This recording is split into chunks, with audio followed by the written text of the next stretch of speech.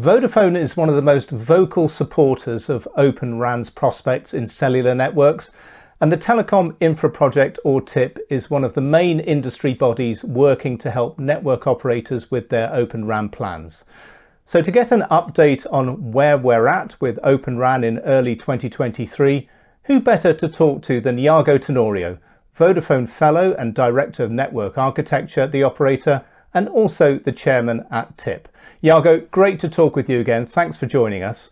So, we're a few years into the Open RAN era now. Uh, what's the state of play with Vodafone's Open RAN strategy, and how do you see the current state of the Open RAN ecosystem and its maturity? Is it set to play a bigger role in network operator plans in 2023? Mm, okay, thank you, Ray, and my pleasure to be here with you. So, as you know, in Vodafone, we measure the state of play by the progress that we're making with our biggest deployment, which is the UK. And that's, I think, is going very well. So, we always said we would um, start with the urban areas before the end of 2022 calendar year, and we did. And we also said that before Mobile World Congress, hopefully, we'll be able to integrate Massive MIMO for the first time. So, so um, stay tuned because we'll give an update during Mobile World Congress on that. But things are going well, so expect us to actually deliver what we said we would. Um, I think that's important because once you get Open RAN to urban areas and once you integrate Massive MIMO into the system and and you know you can demonstrate that it performs well, I think is an important milestone for proving the maturity of the system. That should mark you know, probably 2023 as an inflection point where we can see some volumes deployed and, you know, more projects. Now, also importantly, I think recently we announced a few things um, while we were at FYUZ in October um, that are important for the ecosystem. So very relevant, the announcement of the work that we, uh, we did with Nokia that they are finally embracing the Open RAN architecture and they are working on on delivering the first uh, system from Nokia that will be fully Open RAN compatible according to our specification. Also, very important news for the ecosystem when it comes to silicon. So you saw Marvell is working both with Nokia, fueling that work, as well as with Samsung. Uh, Qualcomm is working with Mavenir that is, I think, very important. It talks about also the maturity uh, of the ecosystem and the momentum. And I think, last but not least, the other thing that is important is system integration. I think is getting addressed. So, both in harmonization of testing as well as simplification um, I think we're making progress. And you saw also a note that we published with Docomo that we are working with them in both fronts. We are also finding a very good collaboration uh, from TIP and the O-RAN Alliance. So I think that also talks about, you know, progress. All in all, we always said our plan is to have 30% of Europe rolled out with Open RAN by 2030. And that's still the plan. We're progressing to that that will be fueled by an RFQ that should see the light in 2024. So everything that we are doing now is leading us to that. It's going very well.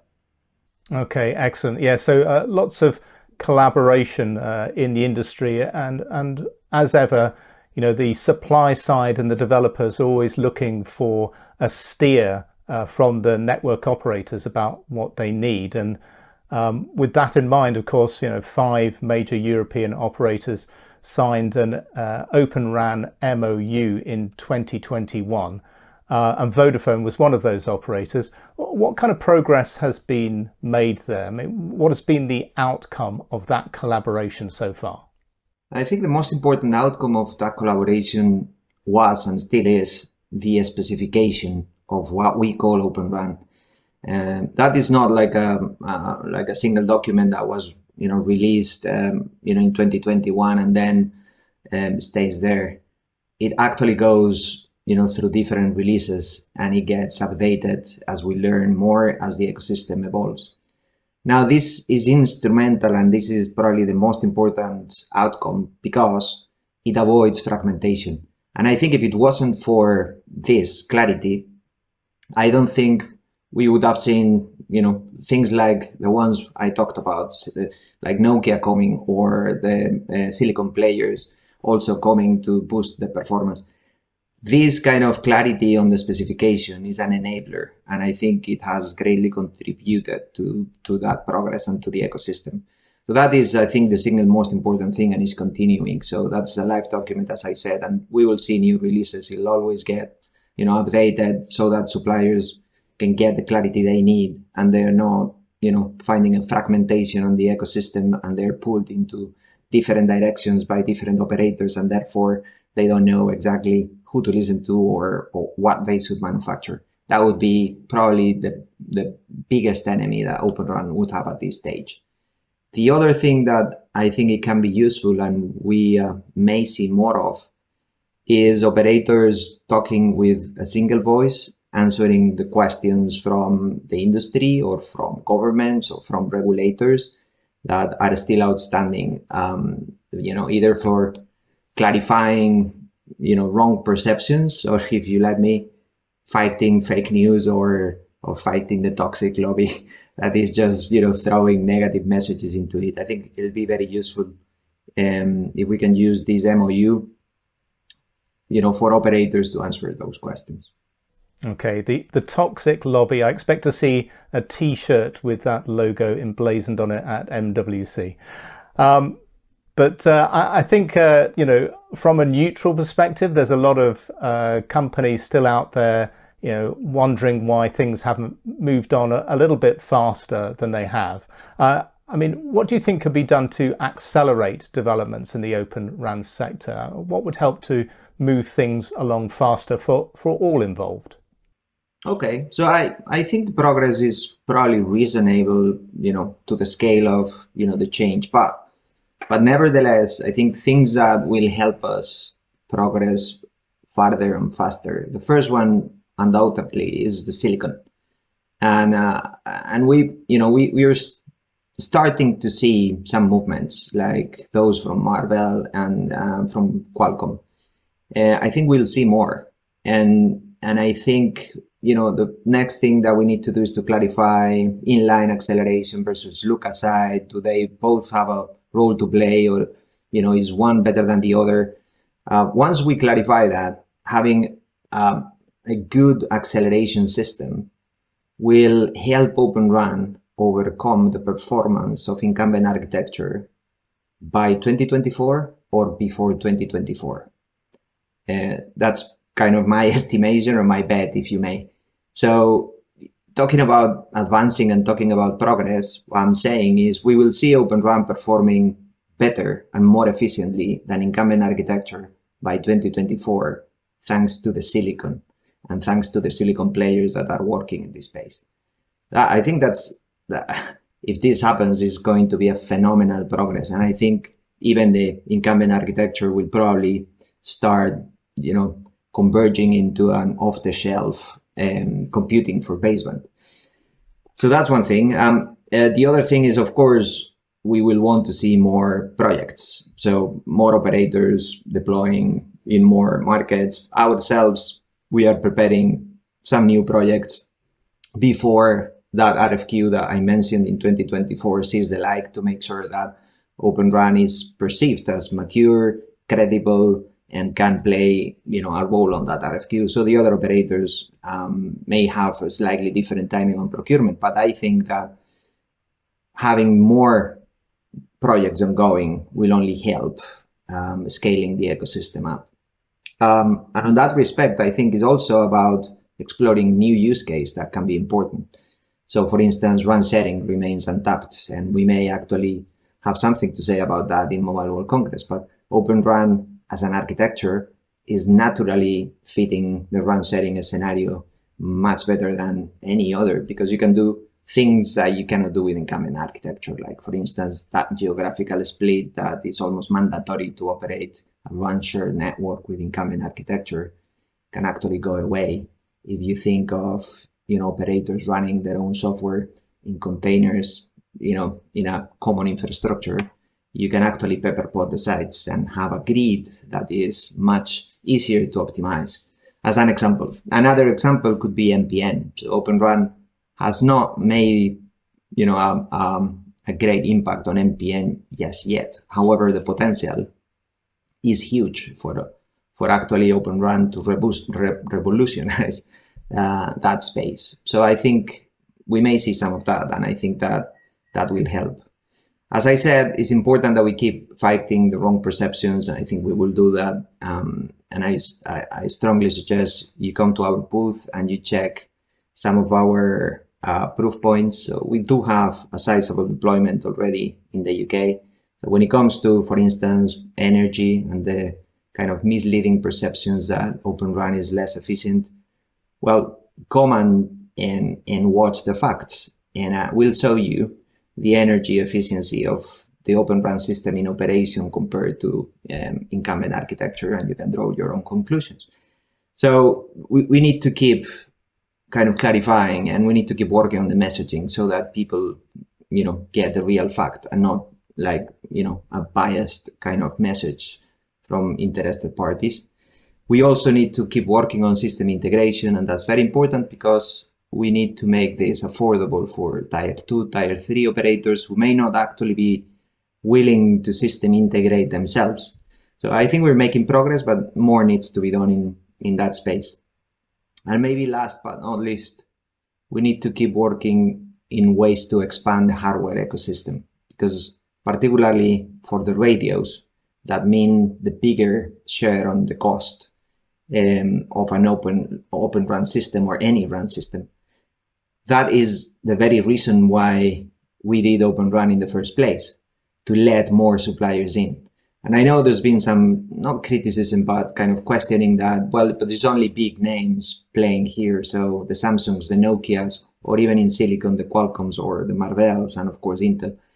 Um, so where are the new players? Well, I think eventually that will happen. And the most interesting place where that needs to happen is on the radio hardware because that's where the cost is and that's where you need the most diversity. So uh, I think expanding that will be probably the next step. I think silicon has a super big role to play in facilitating that and I think we're making a lot of progress in that area. So so I'm yeah looking forward to that. Okay, excellent. Uh, really clear messages for the sector there. Uh, now, one aspect of Open RAN that's starting to capture more and more attention is the RAN Intelligent uh, Controller or RIC. It's regarded by many as a key enabler of Open RAN innovation. Um, do you think that's uh, correct? Is that a, the right way to look at the RIC? And you know, are we at a point where we're ready to see RIC platforms be deployed in networks as soon as this year, or is it still too early? I think it's it's correct in that is I think it's the ultimate destination. so uh, RIC is where you get to once you um, you know you you've managed to do everything else right. Uh, RIC is a platform and an architecture that it'll be very difficult, if not impossible, for the incumbent architecture to actually match. So eventually, Open RAN, you know, will be a big enabler of that platform and a lot of innovation will be unleashed. So yes, that's right. But RIC is not the only innovation that Open RAN enables and is not even like like the main one or the most immediate one. So before that happens, we'll see, as I was saying, imagine um, an off-the-shelf um, silicon server that performs better than incumbent traditional BBU uh, well, I mean, that's not only important, there is a lot of innovation related to that and a change in the ecosystem. Um, as I was saying also before, imagine giving way to new radios um, and imagine the radios of Open RAN overtaking in performance and efficiency the ones from incumbent RAN. That is actually possible. And I think we'll be hearing about that, you know, in, in the, say, you know, not too distant future. So there is a lot of innovation that is very useful, that is needed and is enabled by Open RAN that we're going to see happening in the next 12 months um, and is equally important for the ecosystem and for the operators and for the industry. Now, eventually, RIC will come and enable, you know, new new things. Uh, there's been um, trials and interim results as significant as the ones we could see from Cohere, for instance. So their approach to a scheduler is radically different, and they they were able to demonstrate significant spectral efficiency gains, which are, of course, are I mean, are absolutely stunning. So is that the ultimate destination? Yes. Is that super relevant for Open RAN? Yes. But make no mistake, is not the only one. Uh, there are many more innovations that are gonna happen sooner than that and are, are happening now. In terms of timing, will we see RIC kind of commercially deployed in volumes in 2023? No, I don't think so. I think it's too early. I think you know, in terms of timing, is too early to say. We may see it in 24, 25. It'll eventually come, but we need to make sure that we get everything else right and we enable many more kind of innovation fronts before we get to the RIC. That's my view. We need to sort out the system integration and make it available for everybody. We need to work on automation as well. And then eventually RIC will come and make a big difference, but it'll probably be in the second half of this decade is my view. Okay, excellent. Well, uh, fantastic insights there. Yago, thanks very much for joining us and uh, look forward to catching up again soon at MWC and throughout the rest of the year. So thanks very much. My pleasure, Ray. Thank you for having me.